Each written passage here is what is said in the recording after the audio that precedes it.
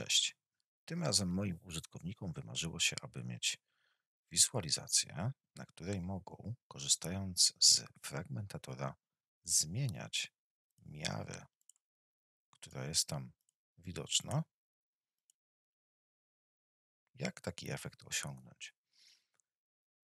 Mógłbyś zrobić to bez żadnych dodatków, korzystając z takiej miary funkcji switch, czy też wielokrotnie zagnieżdżone if, która w zależności od wybranej z tego fragmentatora wartości wyświetla taką miarę.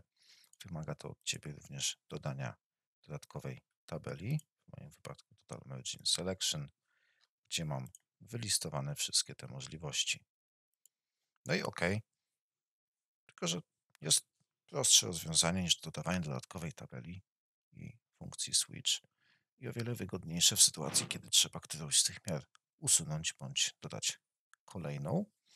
E, Również zwróć uwagę na pewien problem, który pojawia się, kiedy wybiorę tą miarę Total Margin Asia procent. Nasza oś Y wciąż pozostaje w formacie liczbowym. No i dosyć ciężko byłoby tutaj sprawić, czy to przy pomocy DAX-a, czy innych sztuczek, aby tutaj pojawił się format procentowy. A możemy bardzo prosto i elastycznie taki efekt osiągnąć oczywiście w Tabular Editorze. Korzystając z czegoś, co nazywa się grupami kalkulowanymi, Calculation Groups, przejdę do, narzędzi zewnętrznych, otworzę Tabular Editor. Grupy kalkulowane dodajesz klikając prawym przyciskiem myszy na folderze Tables, gdyż zostaną stworzone jako nowa tabela, niejako w Twoim modelu. Po wybraniu New Calculation Group powstała nowa grupa kalkulowana. Nazwę ją od skrótu Calc G Calculation Group Asia Measures dla Azji. Po rozwinięciu widzę, że z automatu mam w niej trzy elementy. Folder na Calculation Items, elementy obliczeniowe, kolumnę Name, która będzie przechowywała nazwy tych elementów obliczeniowych oraz Ordinal, ukrytą, która będzie określała ich kolejność. Aby stworzyć nowy element obliczeniowy, o którym możesz myśleć trochę jak o mierze, klikam prawym przyciskiem myszy New Calculation Item. Nie będę już tutaj odwoływał się typowo do wartości total margin, gdyż jak zobaczysz, będzie można równie łatwo zmienić, do której miary nasze obliczenie się odnosi. Nazwę to po prostu wartość Azja, value Asia i do expression editora wkleję to, co do tej pory było total margin Asia, Ctrl C, Ctrl V. Zawsze po takim wklejeniu do tabular editora warto miarę zaznaczyć i kliknąć na przycisk Format DAX, który spowoduje sformatowanie tego dodanie wcięć, usunięcie wcięć, zwłaszcza przy dłuższych miarach, może nie przy takiej krótkiej. Ok. Wspomniałem, że naszą miarę uniezależnimy od tego, czy będzie to total margin, czy total budget, czy total income. Mogę to zrobić zamieniając total margin na miarę, właściwie funkcję taksową selected measure. Jest to funkcja wyjątkowa dla elementów obliczeniowych. Za nią zostanie podstawiona dowolna miara, którą na swojej wizualizacji wstawisz do pola wartości. Także teraz dowolna miara z pola wartości, total margin, total income, total budget, zostanie obliczona w kontekście tego calculate. Tak samo postąpię dla pozostałych miar z mojej wizualizacji, czyli total margin Asia and Europe, total margin Asia and Luxury, new calculation item, value Asia Europe. Od razu stworzę jeszcze jeden Asia and luxury i przekopiuję do nich moje miary z modelu.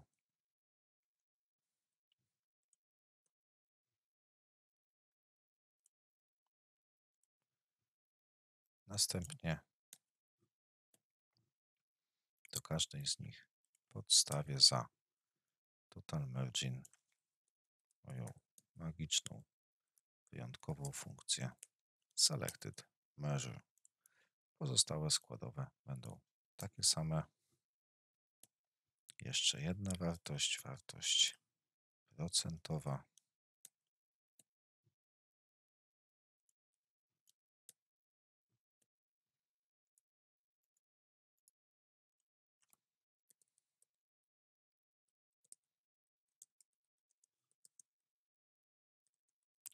Percent of total. Niestety, tak jak mogę odwoływać się do innych miar, które są w modelu, tak nie mam możliwości odwołania się do innego elementu obliczeniowego, w każdym razie nie wprost. No, dla ułatwienia wkleję sobie to obliczenie z value Asia zamiast total margin Asia. Sformatujmy to. No cóż, najwyraźniej według niego najlepiej, kiedy to jest wszystko w jednej linii. Ach, nie, już wiem, gdzie tkwi mój błąd. Tych nazw nie powinno tu być, gdyż nazwa jest tutaj teraz. Format tak zadziałał prawidłowo. Też może to być jakaś wskazówka. Więc pousuwam te nazwy miar, gdyż nazwy już są zdefiniowane po lewej stronie. Również równa się. OK. Zapiszę zmianę Ctrl S, aby moja grupa kalkulowana pojawiła się w modelu. Spójrz. Przy stworzeniu grupy kalkulowanej model będzie wymagał odświeżenia obliczeń. Pojawiło mi się takie ostrzeżenie żółte. Wybieram odśwież teraz.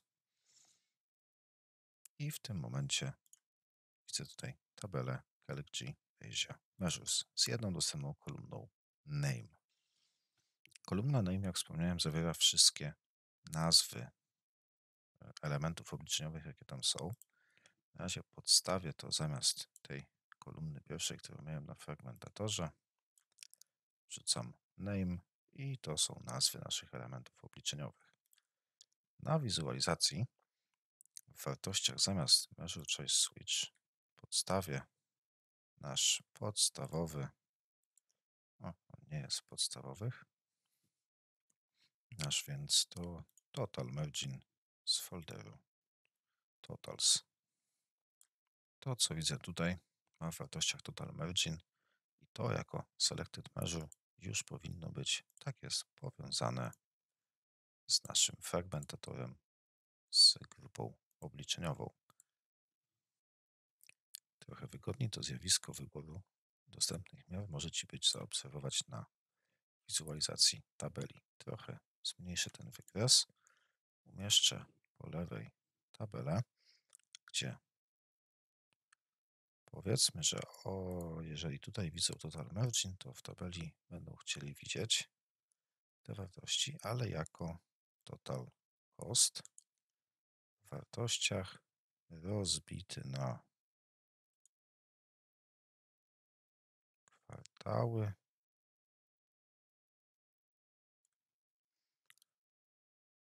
Jak na razie, owszem, tak się dzieje, ale mogę sprawić, żeby była wyświetlana również nazwa wybranej, wybranego elementu kalkulowanego poprzez przeciągnięcie tutaj do pola kolumny z grupy kalkulowanej pola name.